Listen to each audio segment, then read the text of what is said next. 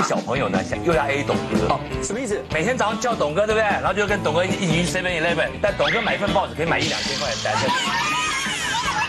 那个宵夜，嗯，花了八千多块。他朋友的店，嗯，然后呢，尽拿一些最贵的那个食材。然后喝开了，然后我想说怎么办怎么办？不行，这样子我一定要先买来喝你。我马上打电话给我，他说，哎，十分钟我在门口等你，你马上来带我。那我刚才讲说我去尿尿，我就走了。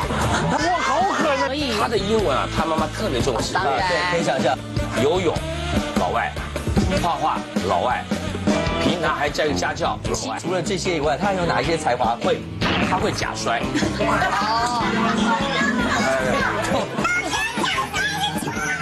叫他点，叫他点好的好不好？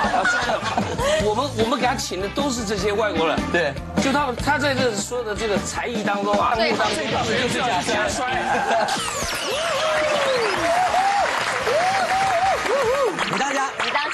到底谁当家？好，那其实我们常说有子万事足，嗯，管你是公侯将相，或是你是富商巨贾，还是一般庶民百姓，嗯好像有了小孩以后，大家所有的注意焦点都会摆在小孩身上自。己看他就怎么看怎么可爱。嗯，哎，你讲着讲着想到你们家小熊了，对我们家小孩最可爱啊，了。对，每个当爸妈的大概都会是这样。那你对在荧光幕前面，你会看到很多呃荧光幕的，不是譬如说综艺大哥啦，或什么，平常在节目里面说学逗唱，然后什么什么都来。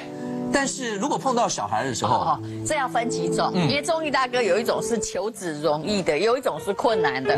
求子容易的就随便啊而且很多。对对对，很多 外面可能还有人来认。那困难的那一种呢，啊，就就比较呃爱孩子我。我记得我们在节目里面，我们在节目里面曾经也聊过，就每一次讲到只要讲到求子这个问题的时候，有很多来宾来，啊，你觉得那个真的是辛苦到了极点。可是为什么愿意这样做？尤其是当成功以后，今天在节目现场为你邀请到一位中医大哥来到现场，今天他们都不困难，他们都难的。对对，这些都是这个是难的，因为还记得节目里面讲过，还跑到泰山去，就为了要求小孩。现在看着小孩，每一次不管在多忙的时候，他会是什么样子？说他要求第二个了，哦真的吗？我只是又又奋斗了一段时间了。啊还没有出来吗？是应该还没有。OK，好，来为你介绍今天现场邀请到的来宾。好，工作再忙都要来听好朋友的刘尔金。对，求子不困难啦，我讲的都 OK OK 的。对对对对对对所以你们就比较不会珍惜嘛，啊不，他他也没有不珍惜。我说的是综艺大哥，哦对对不起，好，来下一位。哦，这位他是不是求子的啦？嗯啊啊，他他孩子本来就有了求妻啊他是来挺自己这无话不谈好朋友的陈为民。来，欢迎哎呀，我是很怕，我后来养成一个不逛街的习惯，就是怕路上突然蹦一个年轻人说，啊，我有找到你，其实要找你不困难，认下巴。困难，认下巴就好了，对不是真的好怕。所以你的意思说根本不需要等到马路上碰到，一定会有很多人说，哎，维明，我那天看到你小孩了，为什么呢哎？因为那个鞋拔子在这。对啊，许孝顺啊，最怕买便当了，一看到便当就想到小孩，啊，那个 便当脸嘛，对吧？其实你也不必把自己说的那么厉害啦，不是厉害，就是就是年轻的时候。他到现在还不知道年轻的时候到底做了多少事儿。对。好，来下一位。好，嗯他这个人生呢，哈，只要有老婆小孩就满足的董志成。来这个呃文青好啊，这律师好啊，是这样子。哎，这个节目的档次你看多高。就是比我们三个坐在这边，对对对哎其实女艺人跟董哥交情也不错，哎，董哥有跟圈内人谈过恋爱吗？那不见得是谈恋爱没。有没有没有没有，有有有有有不谈能讲啊。恋爱是应该没有，玩一玩我们就不知道。好，今天节目现场为您邀请到呃，跟董哥呢其实相知非常非常深的几位女艺人来到我们的现场哎。呦，来，董哥，三位哇。塞，哇塞，哎，燕瘦还肥啊，真是。哎，董哥，我问你哈，以看剪影而言，假设是你的菜的话，应该哪一位比较接近？嗯，您嗯，幻想一下，郑尔金知道吗？哪一个？就跟了我八年一个背后灵啊，哪一个？他的型啊，应该是中间就是二号二号那个对对对。哦，背后这个这。个，至少一般我的兄弟都都都你说二号是吧？来，二号身材二号来宾，麻烦用一句话来说一下你跟董哥之间的交情。我长到这么大，最对不起的人就是董志成先生。啊是你对不起他，对，背后灵，对不起他。董哥，有人对不起你啊？对对不起我人多多了，所以你叫我 董哥，一号、三号，想先听谁讲？那就一号呗。来，一号，我曾经跟董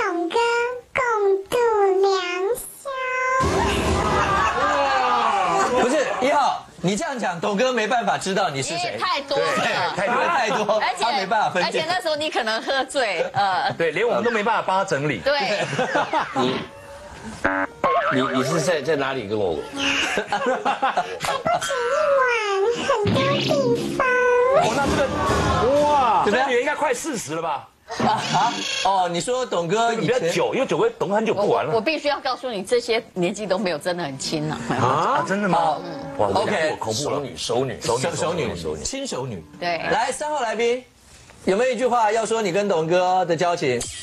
我跟他常常一起研究如何生孩子。董哥，一起研究你生孩子还一直在节目前面装模作样的，然后每次都讲就为了那个宝宝，然后花了多少功夫，好不容易才生出来。然后我都常常跟我太太抱在一起。对对，每一次失败，我们五次啊，啊一次失败我们大概就要哭一个月这样子。对，然后你在你在外头没事就跟人家研究生这个因为还是你要找外头的人生比较不不不快。，还是还是你们根本很炸，就把我太太请来了是吧？我太太高跟鞋穿起来差不多也这个高。好，那董哥，这三个我们要先拉帘子，你想先看谁？对，刚才讲的这几个最好奇，有没有猜到是谁的？呃，其实啊，可以都不要拉嘛。节目怎么做下去啊？您您不满意是不是？没有一个，没有一个对我，没一个好话的没。有对我的家庭对我有帮助的没有没有没有，董哥，搞不好感情是有帮助的。出来以后有意想不到的结果，不一定啊哎，。对，那就是我提早离婚了。哎董哥他们都是美女，嗯不过我跟我老婆已经结了十五年了啊，我相信这种这个这个是经得起考验。可以的好，你也哎不值得啊像不。像他这个很是什么？不要说了，不要说了。他也散很久。对呀而且离婚还等还离离婚还到法院的打官司多难看，多开心的！来，董哥几号？我看我看二号好了，二号。二号先你就刚刚说对不起你的，对不起我的，这这个对你比较这个我有利。你在站得住脚怀念杀伤力不大。怀念你的女助理，啊，最最起码我可可能赢货两气，不会有这么我们，请问一下，金钱的这个啊。如果叫你讲，只说一个对不起你是个女孩，你也很难猜是谁吗？有没有人在这辈子做了什么？他对不起的人很多了，不对。我我是一个宁可我负人，哎，宁可不愿人负我的人。宁可对对对对对，你应该是宁可人负我，你不愿意负人吧？哦，我讲错了，对你讲倒过来了说为什么我们没有考上律师嘛？对 对对，想要考律师吗？对，哎，啊，不想，不是，我想也但是我们最好不要。其实他没有，他没有很少对不起人了，都到时候他连法官都都是。人家对不起我。OK，好。那二号说他这辈子唯一对不起的就是董哥是什么事儿？谁呢？来，请出场。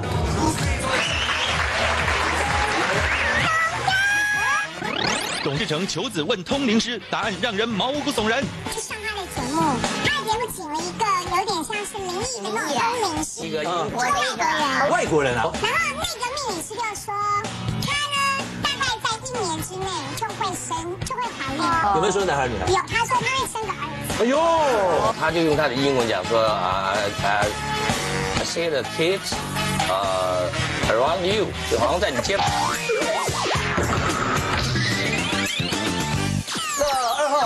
他这辈子唯一对不起的就是董哥是什么事儿？谁呢？来，请出场。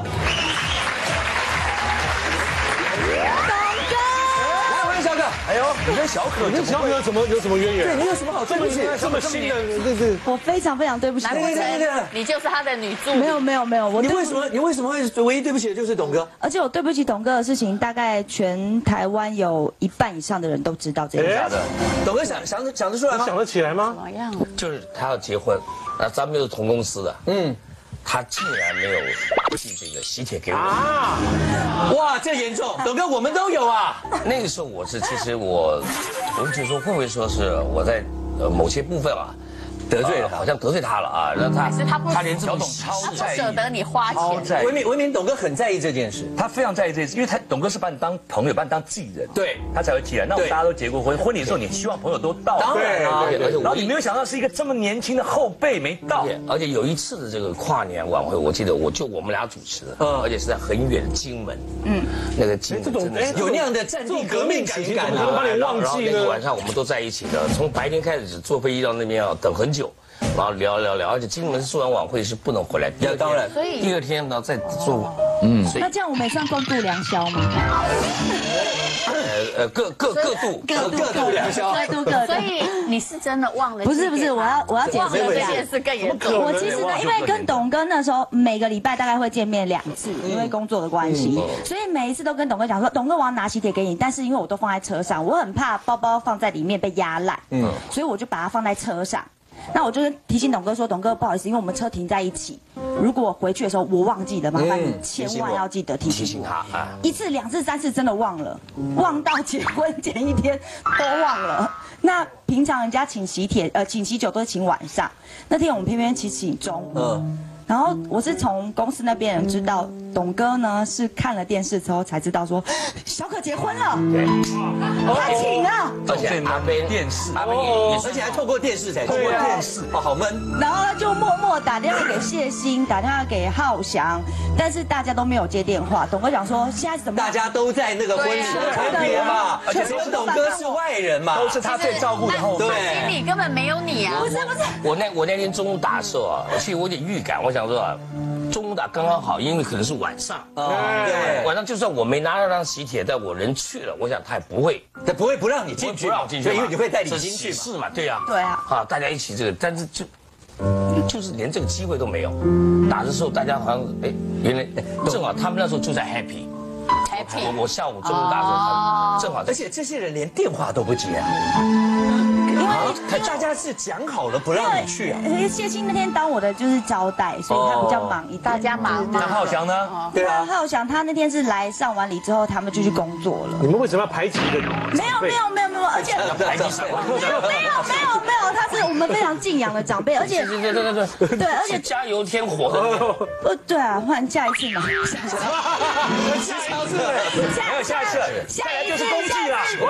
小孩小孩下一次小孩满月，你小孩小孩周岁的时候一定要。你们那个白开水啊，满月的时候周岁周岁周岁，哎，他周岁时候。周岁就办了，哎周岁周岁。哎，周岁要办的周岁就把喜酒一起办。本来就算不打算办，为了董哥这事儿，对。也一定要办，也要请要要要董哥。要，对。对啊，这么大你因为别再忘了。我这个我是非常重视，而且我非常重视朋友的非常愧疚。那小小可这样子，要不要很正正式式的跟董哥讲一下？真的很抱歉的这件事情，让董哥释怀一下。董哥让我更愧疚的是，我打电话给他，然后他还一直跟我抱歉，他就说我难过的是我没有办法去参加你最重要的一天，我没有办法把我跟我老婆想要带给你们的礼物带到现场，在那一天你最幸福的时候拿给你们。然后我听到之后，我就觉得，哦，我是人吗？我真的，真的，那那怎么办？抱一下好了，跟董哥说声抱。哎，对不起，董哥，对不起，董哥也祝你也祝你跟这个白小董出手大方，一定阿边啊，很大一包。对啊好懊恼，没有把没有就拿到那一包对我懂彼。此白手，好不好？白手牵好好。好，OK，好，来直接，来小可进来，董哥进来。你你们也对不起我了啊！啊，有有没有这样最起码释怀一点，让董哥没有啦，先出前菜，因为后面哇精彩了。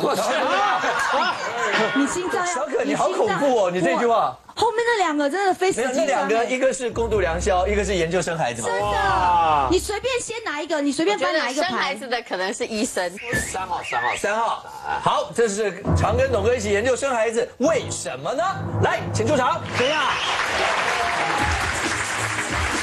哎来，欢迎主席。哎，大家好。来，你要讲，你要讲，你要讲。你好好久不见，好久不见，真的。这个我也。好久不见，真是我呀！不见了，这是现在圈里的新规矩是吧？我们这是这没有结了婚，结婚到现在没见过。